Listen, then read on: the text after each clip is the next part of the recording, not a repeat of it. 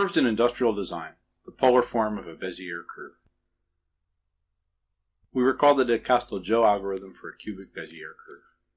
We start with four control points, C sub 0, C sub 1, C sub 2, C sub 3, and the three segments which join successive control points. We subdivide each of these segments into subintervals of lengths proportional to t and 1 minus t, and we indicate the point affecting the subdivision. These three points are indicated in red. They're the points of the second generation of the Del Casteljau algorithm. We connect them by the segments between successive points of this generation, and we subdivide them again in the same proportion t. We obtain two points in this step, which we connect by a, a segment, which we finally subdivide again in the proportion t again. The final point obtained is denoted in green and is called C. It is a point of the cubic Bezier curve, and all the points in the cubic Bezier curve are obtained in this way for different choices of the value t. The idea of the polar form is that instead of repeating the same value t three times in a row, we'll take different proportions at each step. The polar form of a Bezier curve is obtained by changing the proportion t at each stage of the de Casteljau algorithm. We consider three proportions, t sub 1, t sub 2, t sub 3. In the first step, we subdivide the segments in proportion t sub 1, and the second step in the proportion t sub 2, and in the third step in the proportion t sub 3. Again, we obtain a point denoted C and indicated in green.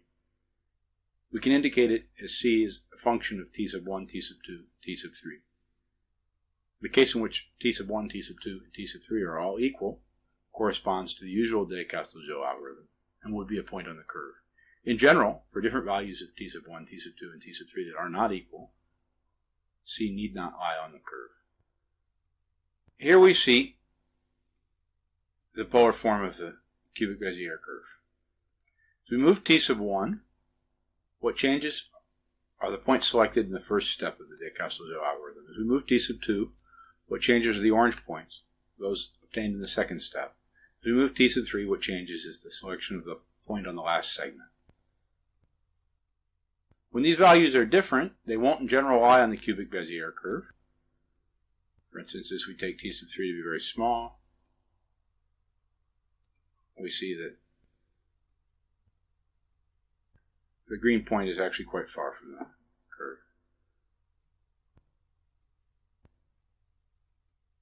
If we take all of the proportions to be zero, this means we're always selecting the first point on each segment. The point that results in the end is simply the first control vertex. From the first step, we take the endpoint of the first segment, and then the second and third steps, we take the first point of the resulting segments. What we obtain is the first control point, and so forth. If we set t sub 2 to be 1, t sub 1 to be 1, and t sub 3 to be 0, we obtain the second the control point c sub 2, and if all of the proportions are equal to 1, we obtain the final control point. The polar form of a Bezier curve gives on the one hand a way to describe the points on the Bezier curve. For a cubic curve, every point on the curve has the form c of t, t, t for some t. It also gives a way to describe the control vertices. The vertices of the control polygon of a cubic curve are obtained by setting the proportions equal to all equal to 0 or to 1. If we have three proportions and we set each of them to 0 or 1, there are eight possible ways to do that. And there are only four control points. This is explained by the fact that the choices 1, 0, 0, 0, 1, 0, or, or 0, 0, 1 all yield the first control point. And the choices 1, 1, 0, 1, 0, 1, or 0, 1, 1 all yield the second control point. This is a consequence of the fact that the analytic expression for the cubic Bezier curve in terms of t sub 1, t sub 2, and t sub 3 is symmetric in the arguments t sub 1, t sub 2, and t sub 3. That means if we permute these arguments, the value of the function does not change. Consequently, setting these arguments equal to, for example, 0, 1, 1, 1, 0, 1, or 1, 1, 0 will give the same value. Here we see the same control polygon represented twice. What's different on the left and right are the choices of the parameter values for the proportions. On the left, we see these parameter values as 0.9, 0.6, and 0.1. On the right, we see the same values but in a different order. The resulting points C, C tilde are indicated in green. And we can see that when we superimpose them both in the left image, they coincide.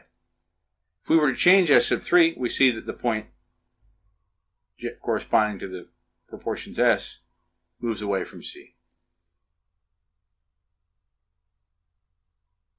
However, if we put all three values equal but in different order, the points coincide. We can change this S2 to 0.9 and S3 to 0.1. And again, the points coincide. So we, we see that while the intermediate stages of the algorithm to compute the points depend very much on the proportions, the final point obtained does not depend on the order in which we choose the proportions